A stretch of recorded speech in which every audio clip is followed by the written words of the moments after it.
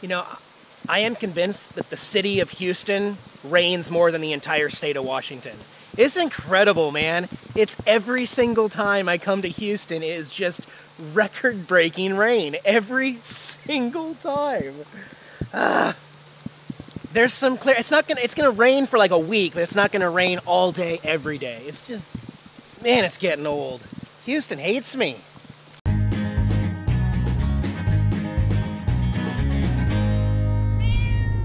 Houston, we've got a problem. I am going to escape the rain. It's not raining right now.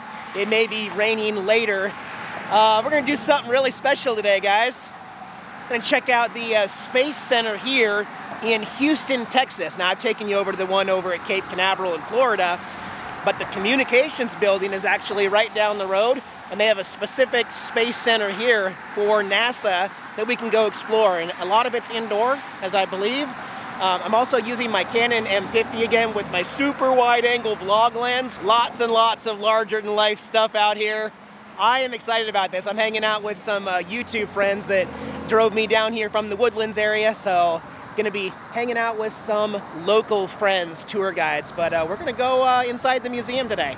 It's uh, 31 bucks to get in, $5 for parking, and you guys get to come in for $3.99. Woohoo!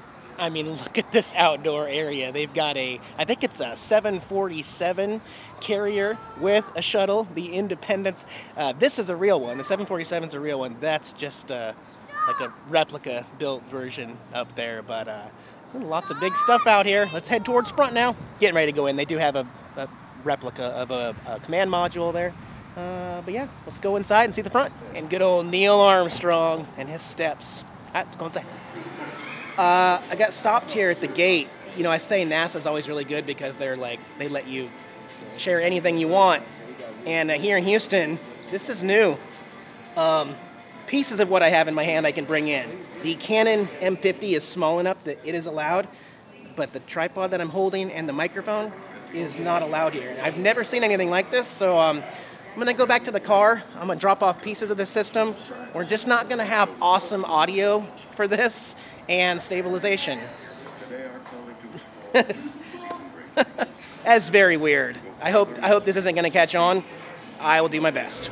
All right, we're inside NASA. I'm excited to explore. They've even got a tram that's going to get us around later. But let's look inside the lobby here. Obviously, I got to find a magnet still. Got to find one. I don't have a whole lot of time to play in here because I got a tram ticket to go over to the original Mission Control tour, which should be kind of fun. But they, they have some magnets and they have some gift stores, some lunar modules there. It's not actually very busy in here. They've got some uh, rides over here, some simulators and stuff you can ride. And then a, a really big lunar module and some kids play areas. Apollo rocket.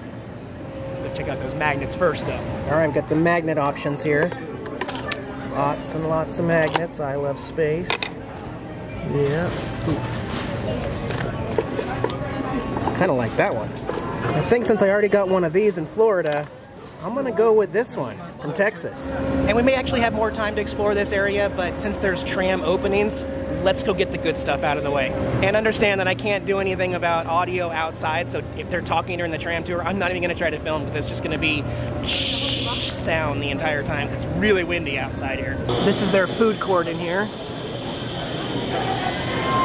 Pretty cool.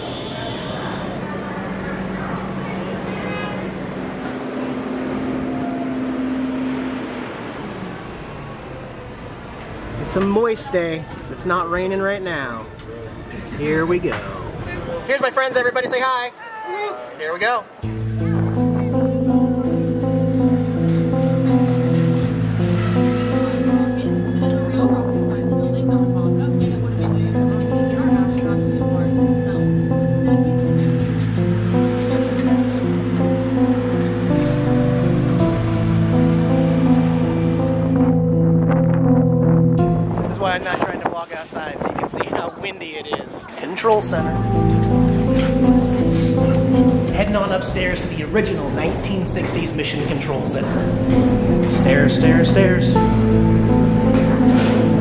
Yep, yep. Aldrin, Collins, and Armstrong. There it is. everybody. Kind of dark in there. We're gonna watch a movie, so I gotta turn the camera off for a little bit. Uh, cigarettes and ashtrays. Definitely the 60s. So I couldn't film uh, during the demonstration, but they do this really cool show. They basically do the entire 1969, you know, landing on the moon in here, and you gotta put all your cameras away. But at the end of it, they let us show you part of the control room here. Getting back up to that first step, uh, it's uh, that isn't collapsed too far, but uh, it's adequate to get back up. Roger, we copy. A pretty good little jump. Okay, Neil, we can see you coming down the ladder now. Neil, we can see you coming. That's one small step for man, one giant leap for mankind. And we're riding the old school tram back. It's an older model. All right, one more tram ride for the day. Gonna go ahead and see the astronaut training facility and see some more indoor stuff.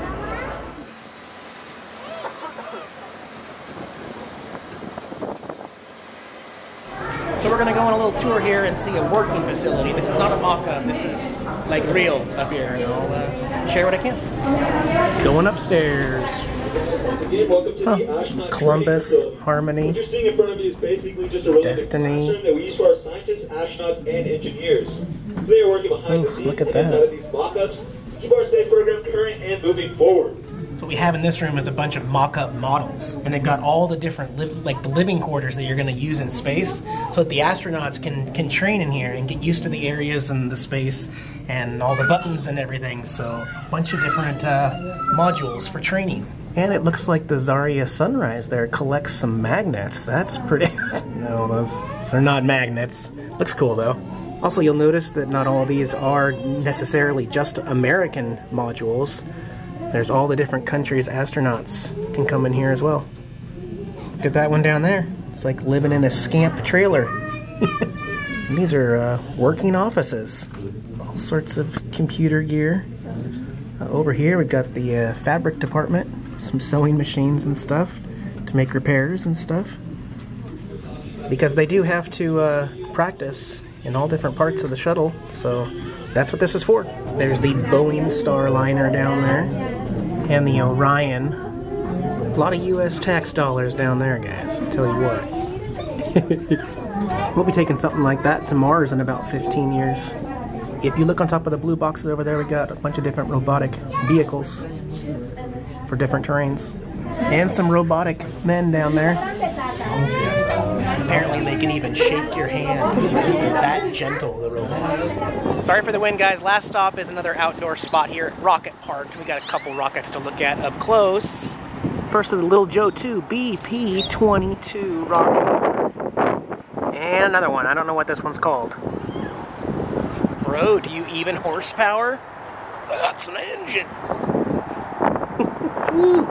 I'm still kind of frustrated about not being able to use my microphone. Like, nothing I can do about it though. I'll just limit outside stuff. All right, inside we have a Saturn V, and it's one of the only functional ones. takes up the entire building here. yeah. You almost have to stand next to it so you can see how massive this thing is. All right, there's some more thrusters there. A tribute to Apollo 11 as well as right over here, Aldrin Collins and Mr. Neil Armstrong. USA, USA.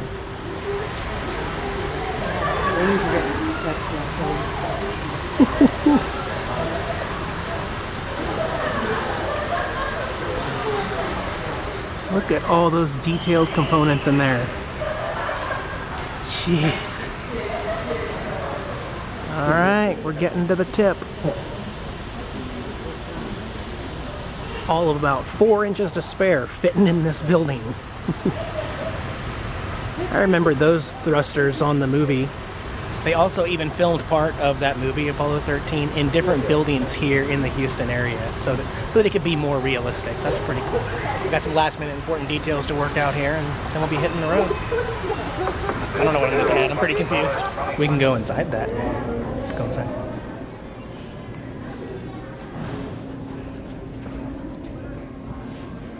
Hmm. He's pretty good at that. This is the uh, crew quarters in here. Yep, they got to do their cardio in space. And the wardroom up there. cozy. The waste management compartment. Yeah. And there's where you sleep. And your space dentist office. And a 1975 docking modular trainer. Oh, tight squeeze in there. One Apollo fuel cell. oh, it's even fuel injected. All right, gonna go head back to the beginning and go check out that Boeing 747 and the Space Shuttle one last time before we hit the road. They have a lunar module cockpit trainer here, so you can practice. Suspended here is the Faith 7 Mercury 9 spacecraft, flown by Gordon Cooper in 1963. It is a very low light here downstairs, but lots to see the Apollo 17 command module. And just take a peek in here. Oh man. Wow. Look at the door mechanism here. Space food. There's your space steak. Mm-hmm. Your bag of water. That If you go yogurt, through yogurt the or milk. Skylab, um, you can see like everything And has a your window. space screens. Mm-hmm. Working on the moon there. And they got a lunar rover right there. Head on into the lunar samples vault. How big this thick this door is. yeah. You can touch some moon rock over here. Mm-hmm. From Apollo 17 in 1972. Oh yeah. We touched it. And they are still to this day here at this facility testing moon rock and other chemicals and stuff. And we're going back outside. Behind me is the orbiter access arm. This is how the astronauts get from the tower to the rocket. The wind is still just ruining all my audio. What can I do? A big jet there. Let's see how we can get into the Boeing 747. Yep, you can go right up on inside.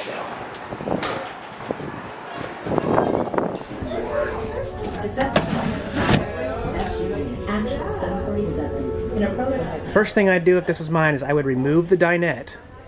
And I guess you gotta have a workstation. Get this power panel. And the micro printer from Canon. Yeah. And lastly, we can go inside the shuttle Independence here. Here's the flight deck. Huh. How hard could the instruction manual be?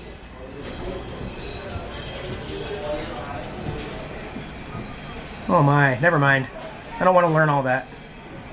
That's why you guys get paid the big bucks. Down there, we've got the satellite motor cradle. It's kind of like an Airstream on the inside instead.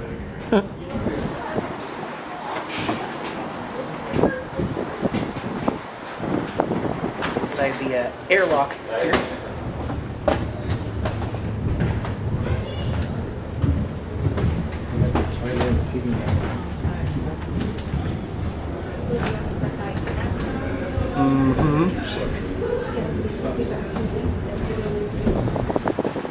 All right, and lastly, before we exit, we're at the front, or the pressure dome. A web-like structure is a pressure dome, technically called the aft pressure bulkhead. It looks like tinfoil. Say I don't take you guys places. And luckily, they kept putting off the rain. Now it's not going to hit till like 10 p.m. tonight, so oh well. Just found something good to do on a possible rainy day. All right, before we head out, we're going to try some astronaut ice cream. It's an ice cream sandwich. Mm, I don't know. Are you a believer? Okay, it actually looks like an ice cream sandwich. It's very lightweight. Um, let's take a look here. Whoa! It looks like a space ice cream sandwich. Well, that is so weird. It's got the colors and everything in there. It's not quite like normal ice cream, though.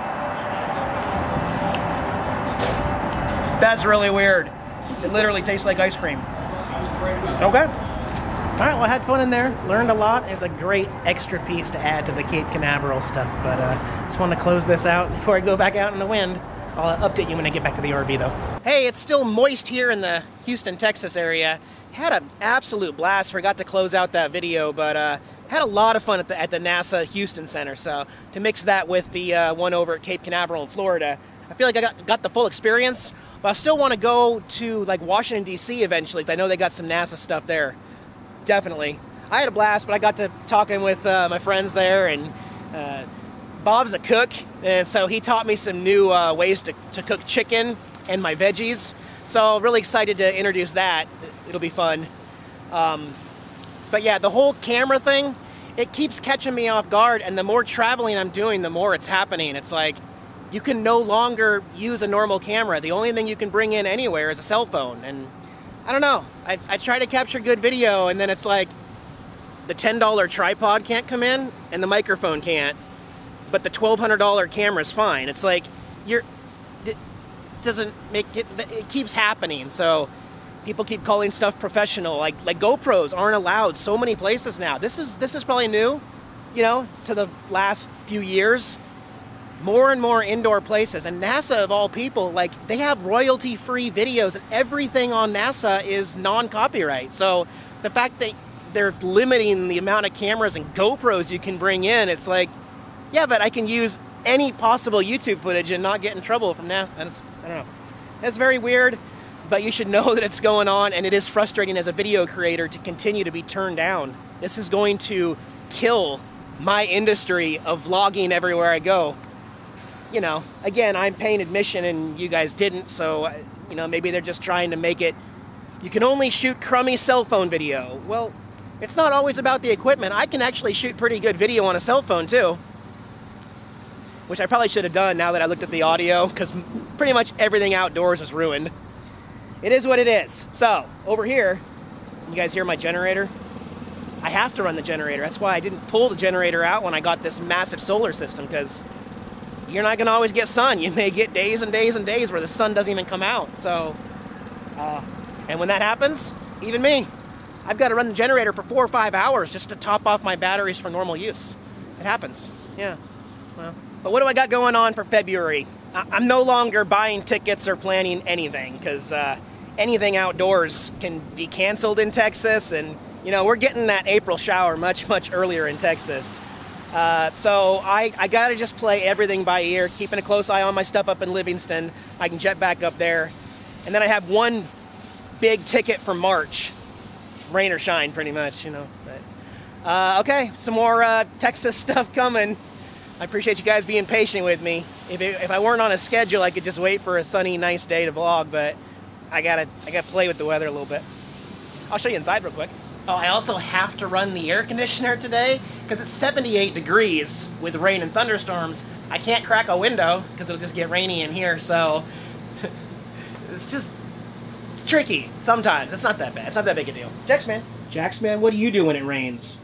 you know, just just lounge around and call my servant whenever I need something. He's pretty good at it, and he's kind of slow, but you know, it works.